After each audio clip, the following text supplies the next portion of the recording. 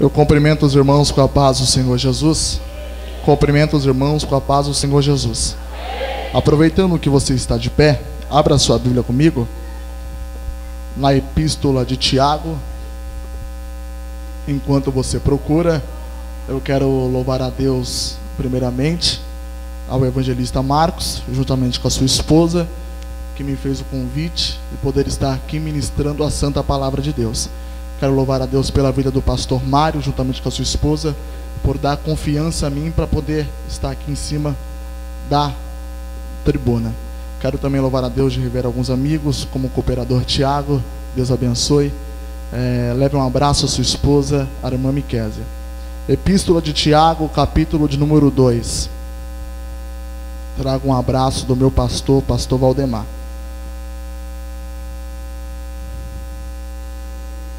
Capítulo 2, verso 23 está escrito assim: E a escritura cumpriu-se, a qual diz: e creu Abraão em Deus, e foi-lhe isso imputado como justiça, e ele foi chamado o amigo de Deus, e você dá um grito de glória para confirmar a palavra. Tome seu assento.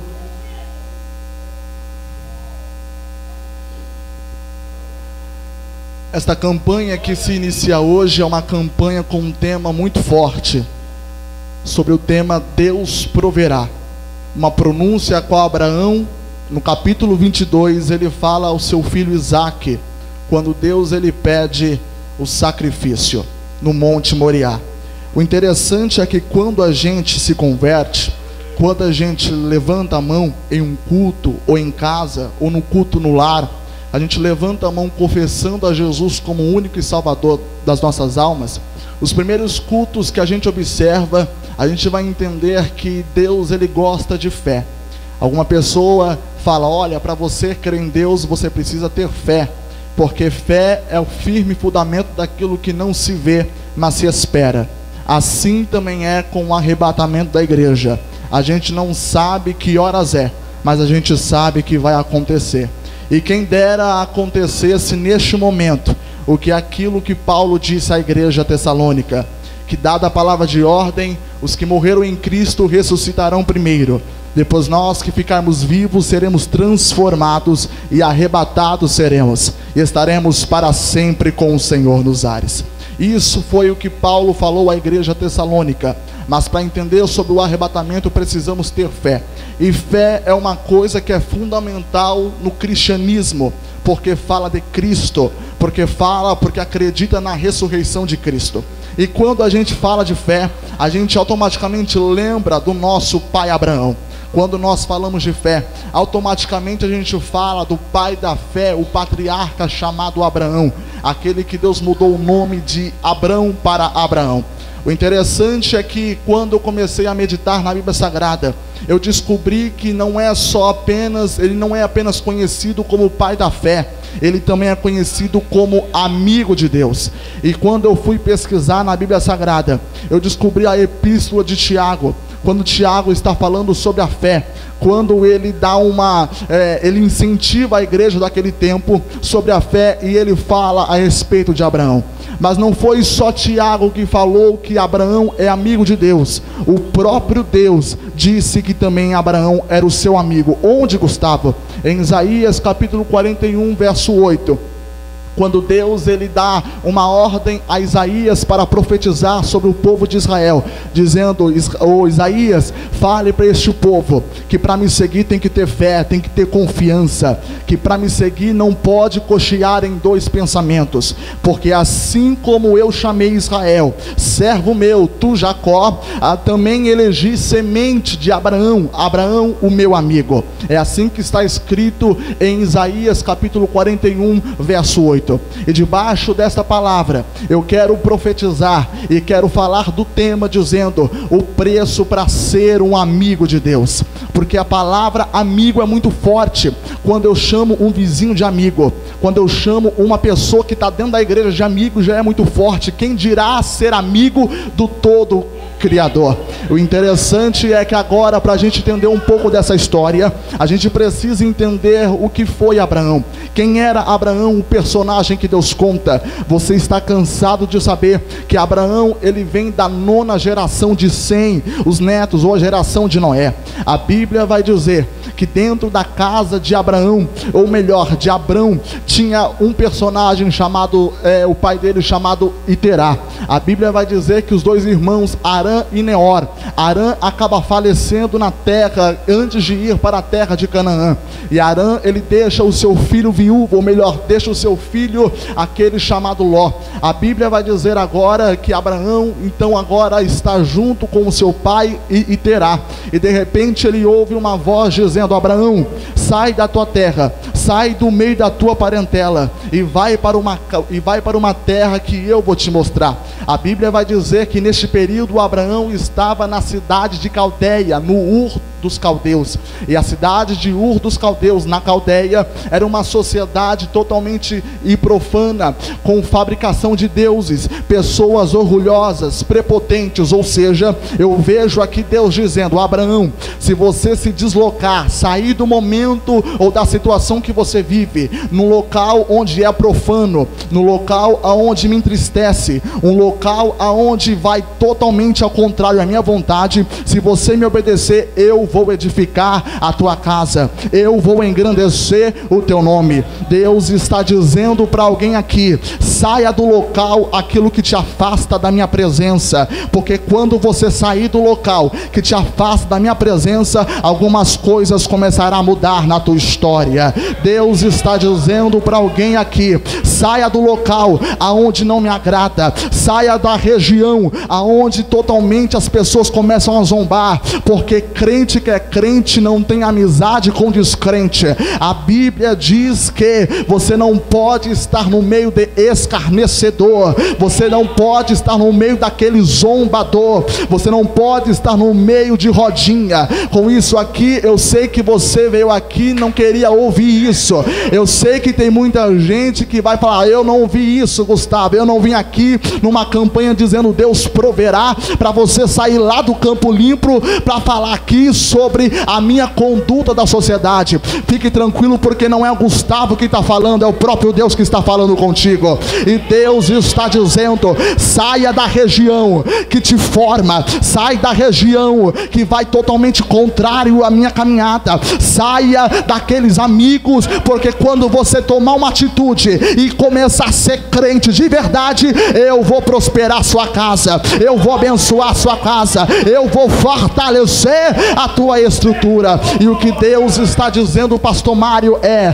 Abraão, sai da tua terra. E só por causa disso a gente já vê que Abraão não foi à toa chamado pai da fé, porque Abraão conhecia de deuses, Abraão e conhecia de estátua, Abraão ele conhecia de coisas espirituais mais mundanas, e de repente ele ouve uma voz, só que a voz é diferente. Quando você ouve a voz de Deus é totalmente diferente. Quando uma pessoa se converte por causa de pastor, automaticamente um dia ela volta para o mundo. Mas quando é Deus dizendo, agora você vai tomar uma atitude e eu vou lavar você com meu sangue remidor que eu derramei na cruz do Calvário, pode ter certeza. A pessoa pode ficar fraca na igreja, mas nunca ela vai desistir. E a Bíblia vai dizer agora que Abraão ele toma um rumo, pega então o seu sobrinho Ló, junto com a sua mulher Sarai e vai a uma terra onde Deus ele vai mostrar. Com isso aqui eu vejo algumas coisas. Exemplo: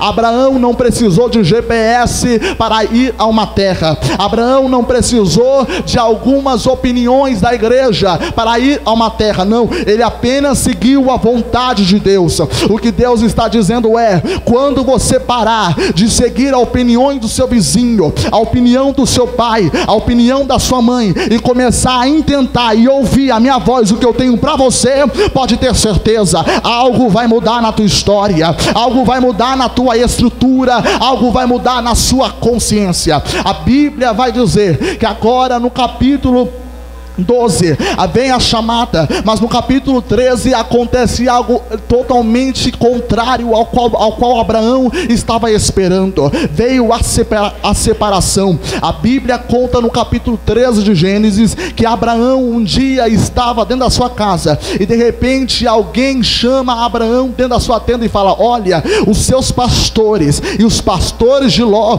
estão brigando. Quando Abraão foi ver a discussão, o motivo da discussão era por terra. Deixa eu começar a falar. A igreja no século 21, ela não cresce, ela engorda. Porque ela não cresce? Porque hoje as pessoas não estão mais com o alvo dizendo Jesus Cristo. As pessoas não estão mais centradas com Jesus Cristo. As pessoas hoje querem cargo dentro da igreja. A pessoa briga por cargo dentro da igreja. A pessoa briga por causa de microfone. A pessoa briga por causa de cadeira em cima do púlpito. Diaconato não leva céu para ninguém. Presbitério não dá céu para ninguém. O que dá céu, Gustavo, é joelho no chão e boca no pó. Se você acha, meu querido, que ministério começa com o microfone na mão, tá muito enganado. Ministério começa de madrugada, levando estrutura, criando estrutura, dando estrutura, porque é na oração que você cria estrutura. Gustavo me dá uma prova que é na oração que me dá estrutura. Ora, a Bíblia vai dizer certo dia que Ana estava orando, Ana estava clamando, e Ana, se Ana tivesse firmado nas proclamações de Eli, a Bíblia vai dizer que certo dia Ana estava orando de madrugada e veio Eli dizendo: Cala-te, mulher, você está bêbada, cala-te, mulher, você não sabe o que fala, sabe o que Ana dizeu? Ana, ou melhor, Eli, eu não estou bêbada, eu estou apenas clamando a Deus por um milagre, porque é assim, crente que não ora vê, quando alguém ora diz é louco, quando, quando o crente não é firmado na palavra, vê alguém crente indo no ciclo de oração, indo na Santa Ceia, indo domingo de manhã na escola bíblica dominical dizendo é fanático, não é? Ei, eu quero dizer uma coisa: loucura para o mundo é sabedoria para Deus, e o meu Deus gosta de loucura. O meu Deus pega o que não é e transforma aquilo que é. O meu Deus pega um barro e transforma naquilo diamante. Talvez Deus está dizendo para alguém aqui: se prepara, como o irmão falou, não é apenas o anzol que está dentro da sua casa, é uma rede inteira e vou começar a pescar. Eu vou levantar e você vai se surpreender.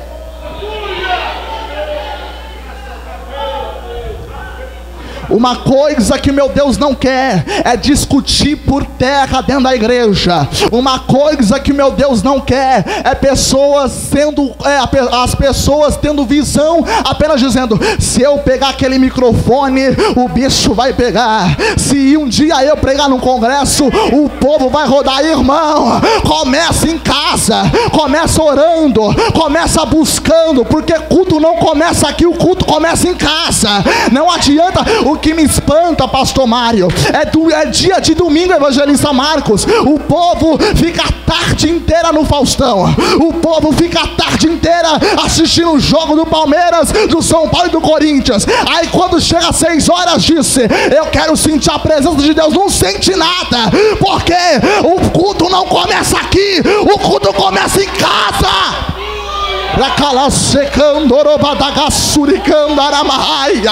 Gustavo, que mensagem é essa? É por isso que o Marcos me chamou, irmão. Eu acho, ele é, meio, ele é meio doido de me chamar, porque eu sou louco. Outros três ministradores vão pregar aqui totalmente diferente, eu tenho certeza. Vão pregar maior ainda do que eu, mas eu não posso deixar de falar aquilo que Jesus ele mandou eu dizer. A igreja tem que parar de ficar com visões em com visões na carteirinha, porque é isso que destruiu a família de Abraão. Abraão se decepcionou dizendo: Olha, o povo está brigando por cadeira e não é isso. A igreja tem que brigar por alma. A igreja tem que brigar por alma. A igreja tem que brigar por alma. Tem gente dizendo: um dia que um dia quando eu virar dirigente, o negócio vai mudar. O dia quando eu subir naquela aquela naquele púlpito, o negócio vai pegar. Ei, irmão, se acalma. Jesus te usa aí na cadeira. Como, Gustavo? É, Jesus te usa aí para dar fruto. Se Jesus te colocou aí, é para dar fruto. Dá fruto aí, dá fruto aí. Eu vejo o evangelista Marcos, o coração de Abraão totalmente decepcionado. Porque Abraão ele vai dizer agora a Ló, Ló, escolhe uma terra, porque o povo está brigando. Só que interessante é que, na minha visão, Ló teve uma atitude totalmente errada. Por quê? Porque a Bíblia diz que Abraão ele tratava Ló como filho. E como um filho ele deve ser, é, ele deve tomar atitude. Não, eu estou debaixo da sua bênção, eu estou debaixo da sua casa, eu não vou me separar, eu vou pegar na mão do Senhor e junto a gente vai guerrear na terra onde Deus mandou dizer. Mas Abraão se decepciona, porque Abraão vê que Ló, ele está com o coração na terra e dizendo: Ló, a Ló, escolhe agora, se você for para a direita, eu vou à esquerda, mas se você for à esquerda, eu vou à direita. Que deveria ser um crente que olhasse dizendo: Não, o meu negócio é a terra chamada Canaã. O que deveria ser um crente dizendo: Não, o meu alvo é a terra que mana leite e mel. Sabe que Ló fala? Eu vou num jardim que parecia ser o jardim de Deus. Quem? Sodoma e Gomorra. Interessante agora que Abraão está sozinho. Abraão está sozinho. E quando chega no capítulo 15, eu vejo de madrugada Abraão chorando. E de repente Deus veio animar Abraão, dizendo: Abraão, da sua parentela eu vou abençoar. Abraão, a sua história eu vou prosperar. Abraão olhou dizendo: Senhor, eu estou ouvindo isso desde o capítulo 12. Eu estou ouvindo isso, Senhor Jesus.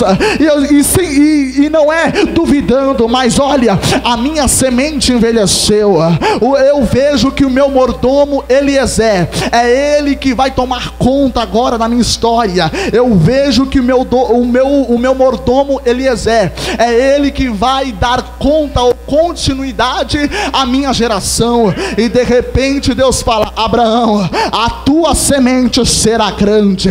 Abraão, sai da tua terra. O interessante é que Abraão fala: a minha semente se secou. Quando a palavra fala a minha semente se secou, Abraão estava dizendo: eu estou velho, eu já não estou mais com vigor. E quando nós falamos de velho, a gente fala de cansaço. E quando a gente fala de cansaço, é porque alguém correu a trajetória, alguém andou ou alguém viajou. E quando a gente fala de viagem ou alguém andou, a gente fala de deserto, irmão. Deus está dizendo: Abraão, é no teu deserto que eu vou fazer frutificar, é no teu deserto que eu vou abençoar, é no teu deserto. Quando nós falamos de deserto, a gente está falando de luta, irmão. É na tua luta que eu vou fazer você prosperar. Gustavo, me dá uma prova que é na luta, aonde eu apanho, aonde eu sou menosprezado, que Deus vai me abençoar. Bora, primeira Êxodo capítulo capítulo 1, verso 22, se não me fala a memória, Deus ele vai contar a história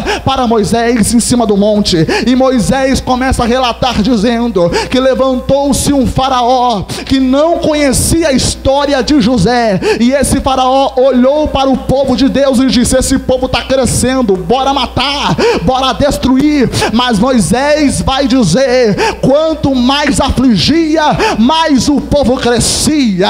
Quanto mais apanhava, mais o povo se multiplicava. Você pode estar na luta, mas Deus vai te abençoar. Não para por causa da calúnia, não para por causa da fofoca, não para porque alguém não gosta de você. O importante é que o meu Deus pensa de você, o importante é que meu Deus acha de você.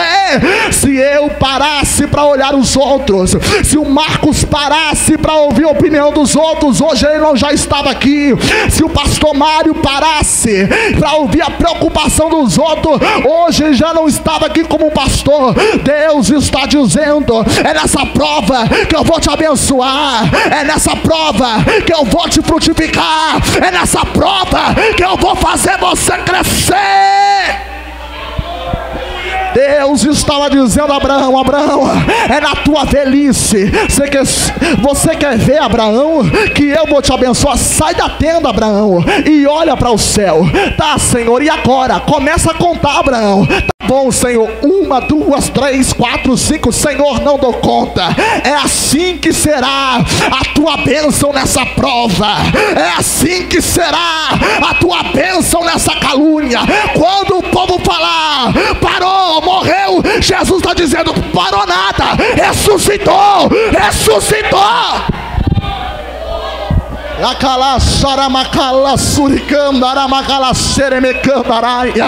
Deus manda insistir no assunto, Marcos. Atos capítulo 12. A Bíblia vai dizer agora que nasce um Herodes chamado Agripa. Agora Herodes, ele vê o povo de Deus crescer e disse: Olha, eu vou matar o primeiro discípulo que apareceu. Apareceu quem? Tiago. Foi o primeiro discípulo a morrer à espada. E de repente agora ele encontra Pedro e diz: Pedro, eu vou te matar. Só que eu não posso tocar na Páscoa. Eu não posso te tocar na Páscoa. Então o que vai acontecer? Eu vou dar uma sentença dizendo: Você morrerá depois da Páscoa. E de repente Pedro agora está dormindo. A palavra dormindo ali significa desanimado, desesperançoso. E de repente ele ouve uma cutucada do seu lado. Quando ele olha, é o anjo do Senhor dizendo: Ei, ei Pedro, a última sentença não é daquele que que fala de você. A última palavra não é daquele que te maldiz. A última palavra não é daquele faraó maldito, miserável. Toma tua capa, toma tua sandália e segue-me, Pedro. E Pedro foi liberto. Gustavo, o que você quer dizer? É nessa prisão da fofoca que Deus vai te libertar. Oh, meu Deus, Deus está insistindo no assunto. Deus vai começar a derramar chuva seródia sobre na vida de crente aqui agora.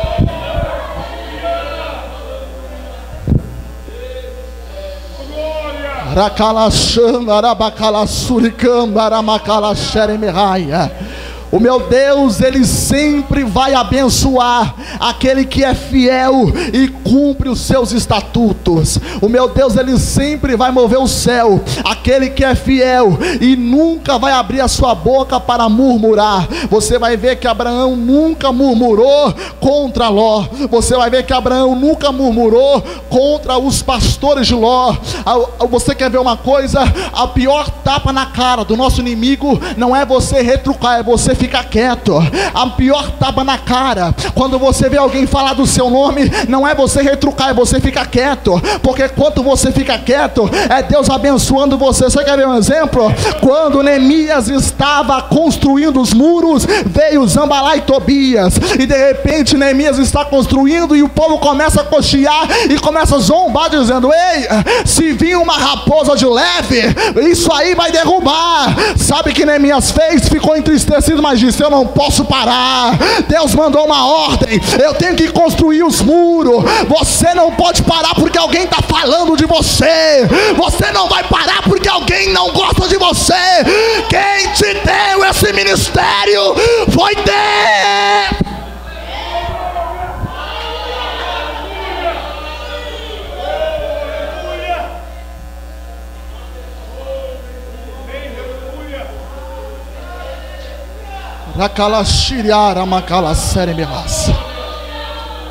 Deus, Ele vai fazer agora cair um sono sobre Abraão. E nesse sono a Bíblia vai dar um nome dizendo conserto. Deus começa a construir algumas coisas dentro da vida de Abraão. E é neste texto que eu quero meditar um pouco com você. Deus quer consertar algumas coisas na sua vida. Deus quer começar a colocar coisas novas dentro da sua trajetória. Deus quer começar a moldar uma nova forma de crente. Porque eu costumo dizer: não adianta ser crente da porta para cá, tem que ser crente daqui para lá. Não adianta ter um vocabulário aqui e ter outro vocabulário lá fora. Deus Deus vai tirar essa desgraça da sua vida. Deus vai libertar você, Deus vai transformar você, Gustavo. Que isso? É, Paulo, certo dia, quando instruiu a igreja de Roma, ele foi dar uma palavra, Romanos capítulo 12, verso 12: Transformai-vos pela renovação do vosso entendimento, para que experimenteis qual seja boa, perfeita, agradável vontade de Deus. A palavra transformar significa dar forma aquilo que ainda está aquilo que ainda não tem forma. A palavra transformar significa dar um novo caráter. A palavra transformar significa ter um novo vocabulário. Deus estava dizendo a Abraão: agora que você me obedeceu, saiu da terra e ainda passou essas lutas, fique tranquilo. Na minha presença, eu ainda vou continuar trabalhando em você. Eu ainda vou continuar abençoando você. Por quê? Porque tem crente que só acha, só de vir à igreja já quer céu. O, po o povo hoje está com falta de memória. O povo hoje está com falta de consciência. Quando Jesus disse: Ei, quer me seguir? Venha, negue-se a si mesmo, toma a sua cruz e siga-me. É aqui que eu quero falar. No capítulo 22, quando Abraão, aquele Abraão que lutou pela sua é, e promessa, aquele Abraão que lutou pela tua chamada, que viu Deus cumprir na vida dele. Agora a, a Sara, ela tem um filho chamado Isaac. Só que de repente ele vê Deus olha, é, é, Abraão ele vê o céu e de repente Deus fala: Abraão, você vai ter que sacrificar o seu filho. E Abraão agora chorando, Abraão agora duvidando, e até mesmo Abraão dizendo: Meu Deus, e agora? Eu lutei tanto, eu clamei tanto, eu lutei, eu disse, eu comecei a falar com Deus desde o capítulo 12 que eu queria ter uma semente, e agora ele toma essa semente minha. É aqui que é o preço de um amigo para ser amigo de Deus porque às vezes você tem que renunciar aquilo que você mais gosta para ser amigo de Deus. Você precisa renunciar aquilo que te faz bem. Você quer ver, você quer ver um exemplo? A Bíblia vai dizer no livro de, de Tessalonicenses, se não me fala a memória, que Paulo ele disse: Olha, ele não teve perturbação de ser igual a Deus, aniquilou a sua forma divina, veio entre nós e se fez carne. Se Jesus, Jesus renunciou à sua forma divina e se fez carne, quem sou eu e você para não querer renunciar às coisas? É, porque o céu é tomada força, o céu é tomada força, e a Bíblia vai dizer agora que Abraão vai olhar para os seus moços dizendo: Olha, eu vou pegar o moço e vamos subir até o Moriá. Só que Abraão tinha uma certeza: o que Deus ou iria mudar a opinião de, dele, ou senão Deus iria ressuscitar Isaac. Por quê?